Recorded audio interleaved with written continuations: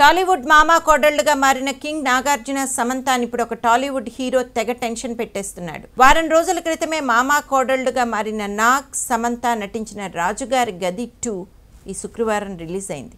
ఈ చిన్న సినిమాలో నాగ్ సమంత ఉండటంతో పాటు మామా కోడళ్ళ ఫ్యాక్టర్ కలిసి రావడంతో ఇరవై నాలుగు కోట్ల ప్రీ రిలీజ్ బిజినెస్ అయింది. ఫస్ట్ వీకెండ్లో పదకొండు కోట్లు షేర్ రాబెట్టిన ఈ సినిమా వీక్ డేస్కు వీక్ అయిపోయింది. ఓవర్సీస్లో ఈ సినిమాకు వసూళ్ళు లేవు.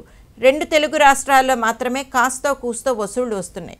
అయితే దీపావళి క్రేజ్ క్యాష్ చేసుకునేందుకు ఈరోజు mass Maharaj Raviteja Raja the great సినిమాతో థియేటర్లోకి వచ్చేశాడు.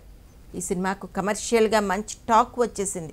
పైగా రవితేజ రెండేళ్ళ తర్వాత నటించిన సినిమా కావడంతో అందరూ ఈ సినిమా చూసేందుకు ఆసక్తిగా ఉన్నారు.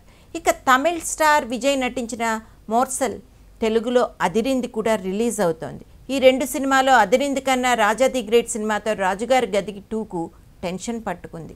ఆ సినిమాకు మంచి టాక్ రావడంతో ఇప్పుడు రాజుగారి గది టూ ఆ సినిమాను తట్టుకుని మరో పన్నెండు కోట్ల షేర్ రాబట్టాల్సి ఉంటుంది. ఇప్పటికే ఈ సినిమా వసూళ్ళు చాలా డ్రాప్ అయ్యాయి. మరి రవితేజాన్ని తట్టుకుని ఈ మామా కోడళ్ళు ఈ సినిమాని ఎంతవరకు సేఫ్ జోన్లోకి తెస్తారో చూడాలి. మామా కోడళ్ళని టెన్షన్ పెడుతున్న హీరో ఎవరా హీరో? కథేంటి? అన్న మాట వైరల్ అవుతోంది.